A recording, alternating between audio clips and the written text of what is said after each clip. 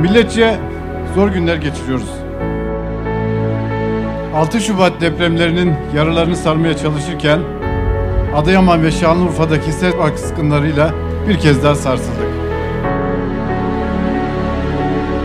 Depremin ilk saatlerinden itibaren bütün birimlerimizden her ünvanda personelimizle 7-24 görev yaptık ve yapmaya da devam ediyoruz. Bütün çalışma arkadaşlarımızla deprem bölgelerinde canhıraş bir çalışma yürütüyoruz. Hiçbirimiz durmadık, hiçbirimiz yorulmadık. Bölgenin, insanın derdi, sıkıntısı bitene kadar da durmayacağız.